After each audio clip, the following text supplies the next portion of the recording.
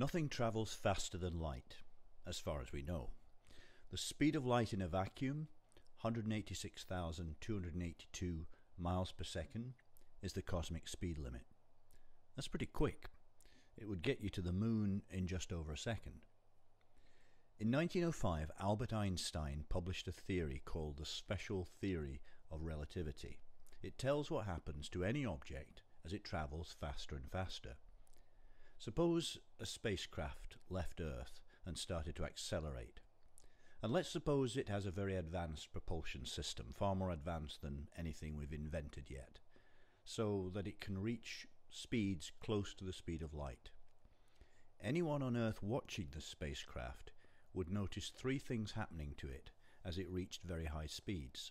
It would get shorter in the direction it was moving. It would gain in mass, and clocks on board the spacecraft would be seen to be running slow. It sounds like science fiction, but we know that the theory of special relativity works because it's been tested over and over again.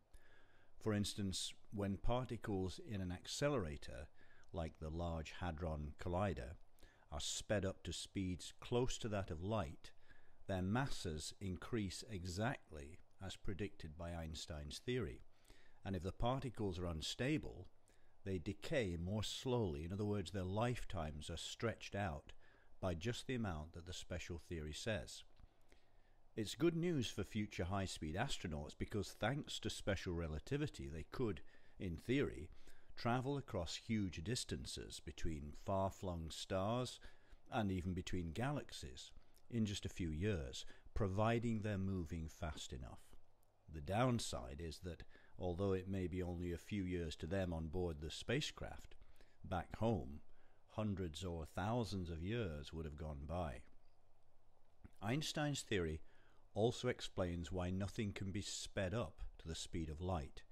Anything that has mass when it's not moving gains mass as it speeds up.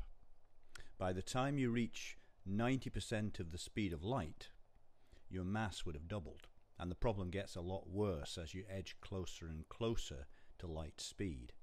At the speed of light, your mass would be infinite, and since that's obviously impossible because it would take more energy than there is in the whole universe, nothing can ever be accelerated so that it's moving as fast as light.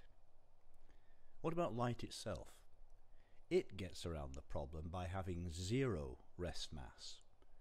Light is made up of particles called photons, an individual photon can only travel exactly at the speed of light. It can't travel any faster or slower.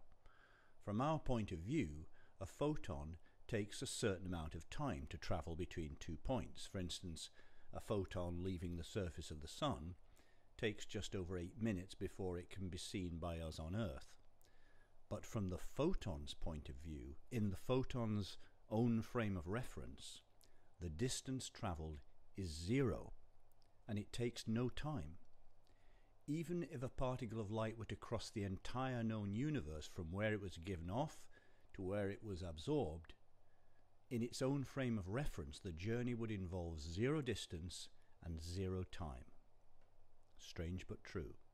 At the speed of light, the universe would be a point that lasted for an instant.